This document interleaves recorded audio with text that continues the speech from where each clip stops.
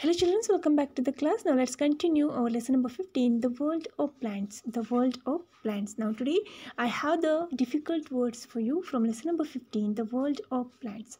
Let's start. First one, plants. P L A N T S. Plants. Strong. S T R O N G. Strong. Next, woody. W double O T Y. Woody.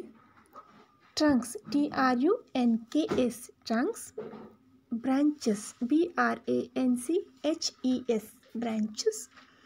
Trees. T R double E S. Trees. Stems. S T E M S. Stems. Climbers. C L I M B E R S. Climbers. Next word is grapevine. G R A P E V I N E. Grapevine. Shrubs. S H R U B S. Shrubs. Cotton. C O double T O N. Cotton. Herbs. H E R B S. Herbs. Ground. G R O U N D. Ground. Creepers. C R double E P E R S. Creepers. Watermelon. W A T E R M E L O N. Watermelon. Photosynthesis. P H O T O S Y N T H E S I S. Photosynthesis. Next word support. S U double P O R T. Support. Flowers. F L O W E E R. Flower. Roots. R double O T S. Roots. Wood. W double O D. Wood.